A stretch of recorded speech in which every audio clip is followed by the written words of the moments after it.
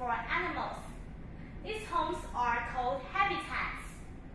There are four kinds of habitats in the world. First, let's look at the forest. It is cool, dark, and wet. The plants have thin leaves. Tall trees provide shade.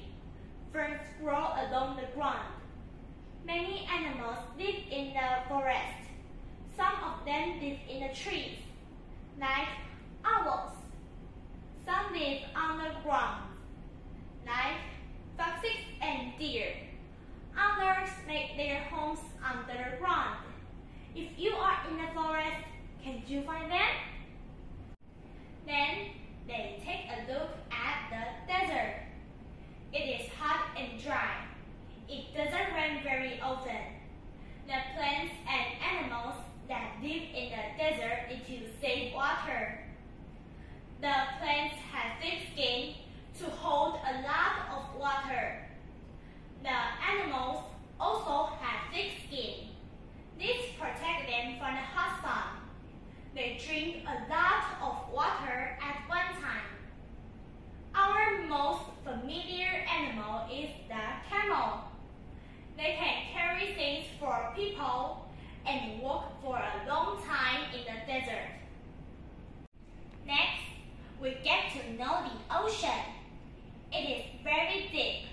The water is salty. Plants called algae grow in the ocean. Algae have no roots, no leaves, no flowers, and no seeds. Many fish and mammals live in the ocean.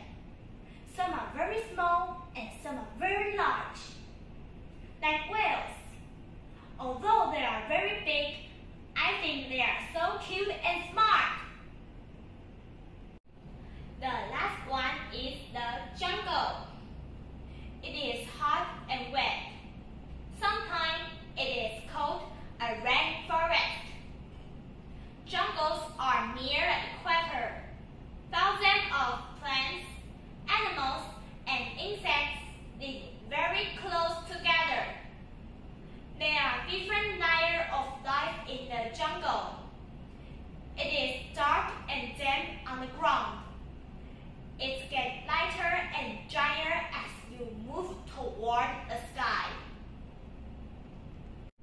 Among these four habitats, I like the jungle best. Whenever I go to the zoo, I will definitely visit a rainforest zone. Although it is a mini jungle, I can see many jungle animals there, like chameleons, butterflies, anteaters, and a lot of others.